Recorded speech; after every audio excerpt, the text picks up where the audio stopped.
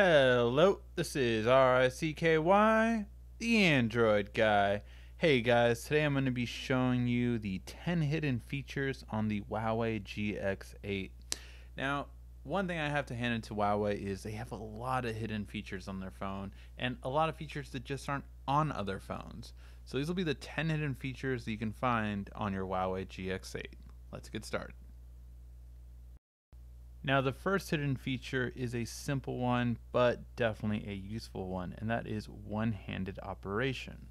Now to set this up, you're going to go into settings, and then go to smart assistance, one-handed UI, go to one-handed layout, and turn it on. What this allows you to do is just simply swipe the bottom. If you swipe this way, the one-handed will be on the left side. If you swipe this way, the one-handed will be on the right side. So it's just that simple and easy just to be able to swipe and then you have it. If you have Google uh, on tap, it sometimes gets that confused. And then all you have to do to go off of this is just swipe again or tap any blank space. And it's just that easy. So this allows you to use one-handed operation very simple and easily from any screen and I just love how convenient it is and how easy it is to use one-handed operation on the GX8. Now another really useful feature that again not other smartphones tend to have is that when you're on the lock screen you can swipe up and you have a list of quick settings you can actually use. You can use this for your uh, music or anything you're playing. You can use this for a calculator. You can use it for voicemail, flashlight, or camera. Quick, simple, and easy just to tap. And then you have your flashlight on. You can do that to pop up your calculator. Again, simple, quick, and easy access do you have just from your lock screen. So I really wish uh, more manufacturers would do that in terms of concealing it so it looks nice and sleek but then when you need it, you have quick access to all of the favorite features that you need. Now for hidden features, we always have to have a few different ones uh, from the camera, and this one's no exception. One of the biggest ones is definitely going to be good food, where it makes your food pop and it looks really good. So I love features like that because I do take pictures of my food, but one thing I have to hand it to Huawei for being creative and different is on your selfie photos, you can actually do something really interesting, and that is go to makeup. This is really interesting because you can literally put makeup on yourself if you don't have it in lots of different cute styles. So you can look at club, you can have pink, sweet, party, and uh, enchanted, all this different stuff, and uh, you put it on and it automatically puts it on. I'm not one for makeup, it's not for me, but definitely a cool and unique feature that Huawei allows for on here. So definitely something uh, really nice. Also important to note is if you go to settings, you can also do what's called the perfect selfie. The perfect selfie allows you to uh, set different forms and you can do smooth, you can do whiten, you can do bigger eyes, you can do brighter eyes, and it changes uh, everything as it goes and you can even do thinner uh, very simple and easy. so you can do a lot of different stuff and set up the perfect selfie so that's what it'll do every time when you get to beauty mode so those are the hidden features for selfie taking which is a really big one for makeup now our next hidden feature comes from text messaging. So under the messaging app, you have a unique feature that you don't tend to have on a lot of smartphones as Huawei, and that is if you go under menu and settings, you actually have the ability to create a signature. Now, most people know signatures from email accounts, but with Huawei, it actually allows you to do it in every single text message. So this is really cool if you just want to attach any kind of photo or any kind of uh, word that you always have. It's simple, quick, and easy to be able to do. If you always want to do an emoji after everyone, you have that ability to do it and so that everyone always sees exactly how you're feeling. Now, under the gallery, there is a unique setting that, again, you don't see in a lot of smartphones, and that is swipe up to transfer.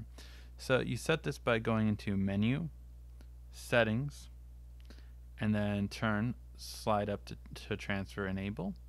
And then what this does is, is when you're looking at a photo, say like this one, of course I want to share this with the world, I just swipe it up, and now it's already looking for devices to transfer it to. So this is a really simple and easy process, but it allows you to transfer over photos or videos quickly via Bluetooth to other devices that are around you. So if your friend wants it, they can just swipe up and then transfer the photo. Simple, quick, and easy.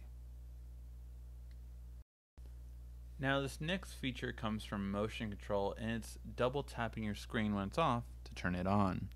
So we're going to go to motion control which is under smart assistants and when we go to motion control you have this right here double touch and you want to turn it on. The reason you want to turn this on is because I particularly find a phone annoying without a home button to reach all the way over there to the power button just to turn the screen on. So this is a lot easier because it just allows you to double tap the screen and then it turns it on. So it's simple, quick, and easy, and one that I definitely have to have on this phone. I was actually annoyed when I first couldn't figure it out, so I did my looking and I found it. So this is definitely a feature that you should turn on and enable so you can quickly get to your home screen without needing to reach for the power button. Our next feature actually comes from motion control as well, and that is drawing on your screen to launch an app. Now you can go to again motion control under smart assistant in settings tap that and you go to draw and what this allows you to do is actually draw letters in order to actually launch certain apps so as you can see right here you can actually choose which one you want and then that will launch when you do it so if I turn the screen off and I draw an M it will launch the music. If I draw a C, it will launch the camera. Simple, quick, and easy to do, and it's definitely a good thing to have. Just quick access to. I, for one, really like it. I do wish you can draw your own letters, which it doesn't seem that you can, uh, just because, you know, if you're doing uh, launching Google, you would want that to be a G. My guess is it's so that it can recognize just these letters and not recognize every letter in the alphabet. But if you have that, you can do it.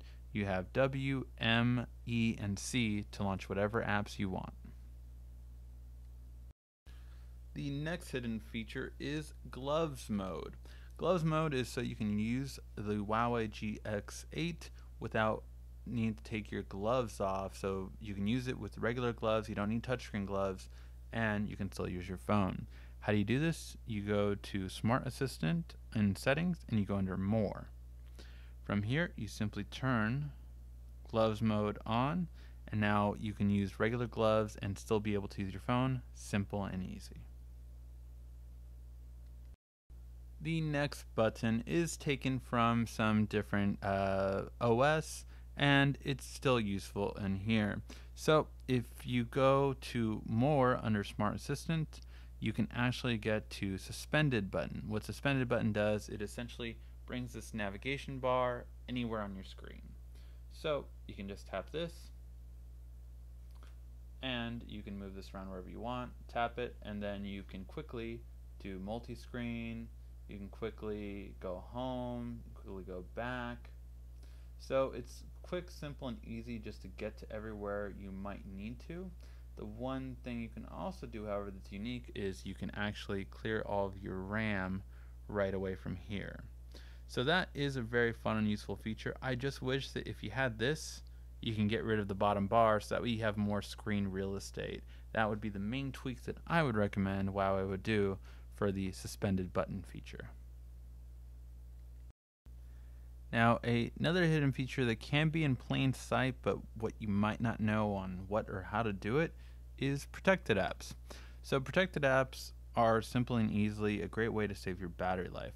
So, if an app is protected, it is allowed to run in the background and never turn off. So, this is going to drain your battery life if you have a protected app. Now, the reason you might want to do it is so you can use it in the background. Say an app like Spotify, maybe. That is an app you might want to run in the background, but other ones you don't. So you just tap it off so it's not protected and that way it's not draining your battery in the background. Now if you want you can simply do this all to add all or remove all and that's a quick way of doing it. If you have a lot of apps just move them all to not protected so that, that they won't run in the background and drain your battery. And finally, our last hidden feature is a simple, quick, and easy one, and that is change the color temperature of your phone. So right now there's a big deal about uh, changing the color temperature of a phone so that you don't have those harsh blue tones at night and you can do it simply and easily just by going to display and go to color temperature. Now it's on by default right in the middle but if you want to get rid of those blue tones you can just go like this and then your eyes won't be bothered at night. Now if you go like this it will have it so it's colder so those blue tones are more uh, vivid and might be something you want not want to do at night. By default it'll just be right there in the middle but if you want a bit warmer tones and keep that on you will actually be able to not be bothered at night by the phone. So you can just keep that on by default or you can just put it in regular default and that will allow it to be neutral. Alright, thank you guys for watching. If you did like this video, please give a like, thumbs up down below. This has been R-I-C-K-Y, the Android Guy.